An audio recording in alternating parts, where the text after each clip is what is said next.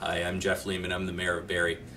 One Billion Rising is one of the biggest social movements on this planet. And this year, on International Women's Day, Saturday, March the 8th, there will be a flash mob right here at City Hall. We will be having One Billion Rising right here in Barrie. This is an effort to raise awareness uh, about violence against women.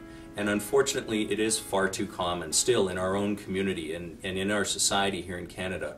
Although we're a safe country, it is still far too prevalent. There are still far too many is issues of domestic violence, of random violence against women. Women have a right to live and uh, work uh, in safety in their own community. And that's what One Billion Rising is all about.